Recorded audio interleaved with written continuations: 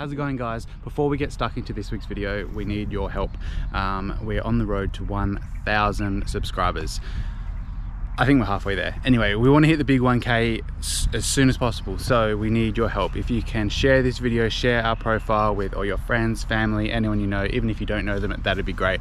Uh, share it down below, grab the link, send it to them, and if you don't subscribe, make sure you're subscribing, get that bell on, and that tells you whenever we upload a video, um, and you can keep up to date with our travels around Australia. Um, and I might even, when we get to a thousand subscribers, actually get a haircut. Until then, you'll have to wait.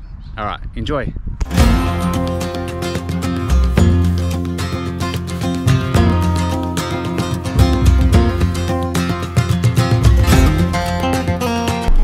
So Megan's just had a heart attack after shopping.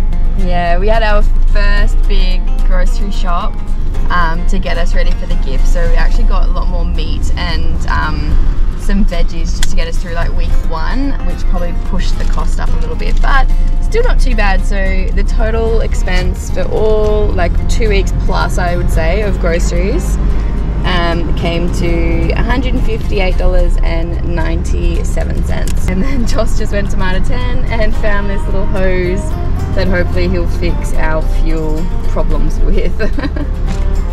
it's a backup. Is it gonna work? It's, it's, at the moment it's working just pulled into the Broome Visitor Centre, just checking everything before we head off again and filling up our water tank, which you can do for free here, which is fantastic.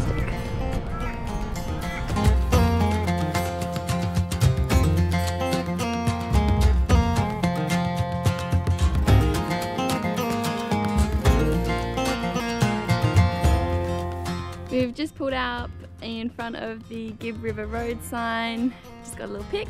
Um, we called into Derby uh, just to get some more fuel so that we're all prepared.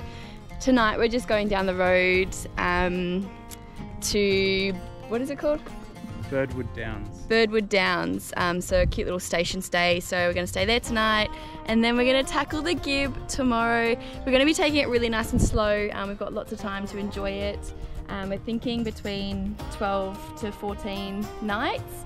Um, not really got much planned, just take it as it comes. Bring it on. We're only staying 12 k's into the Gibb River Road um, at Birdwood Downs Station, which is nice. It's really, it's cool. really nice. Um, but they're having a, it's called Strong Women, Strong Woman Gathering. Yeah. Um, it's obviously an Indigenous um, event. They've got tonight which is cool. We're going to have a look at it soon after. Yeah, they've got live music. Drinks. They've got food stalls. They've got like an art gallery set up um, and some markets. So yeah. we've just camped down in one of their paddocks they've got down here, and we'll take a wander out um, once we settle into our campsite.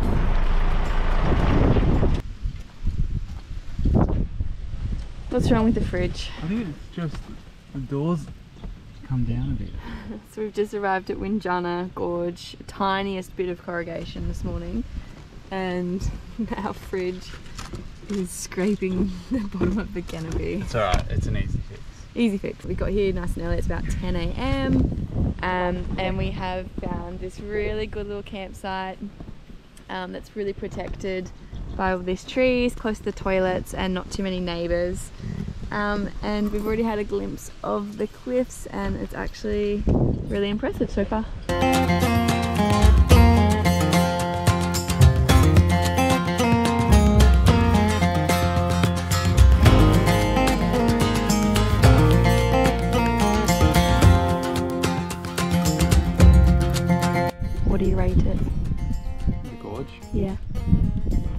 Out of 10. 9 out of 10 is pretty nice. And there's lots of little freshies.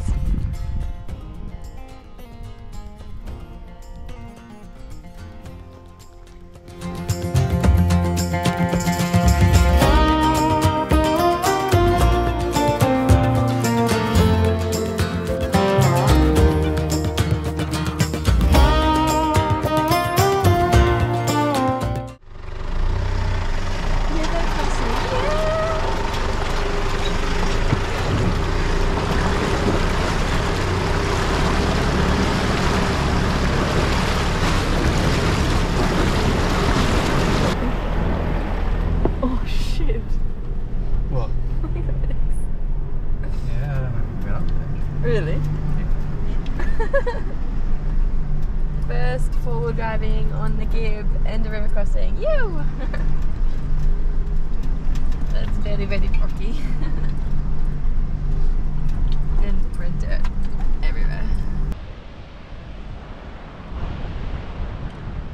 8 out of 10. 8 out of 10.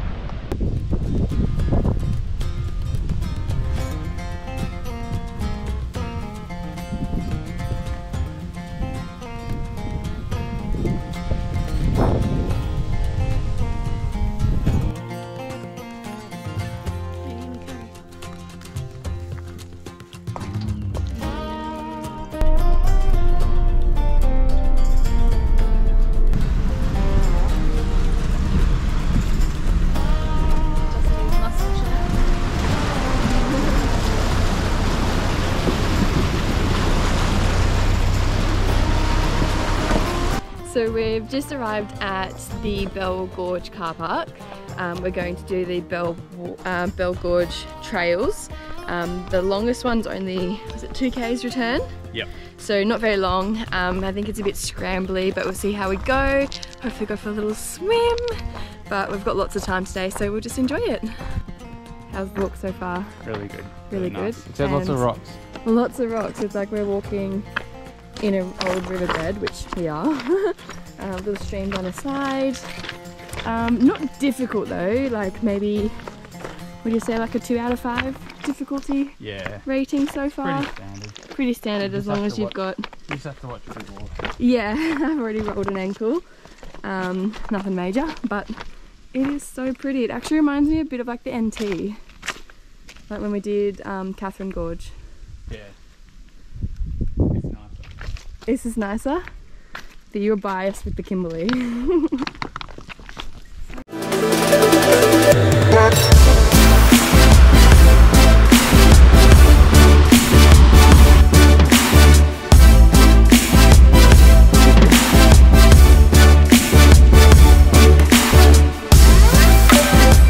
Look at this view. This is the end of the bigger hike, there's just pool after pool after pool to swim in. No crocs.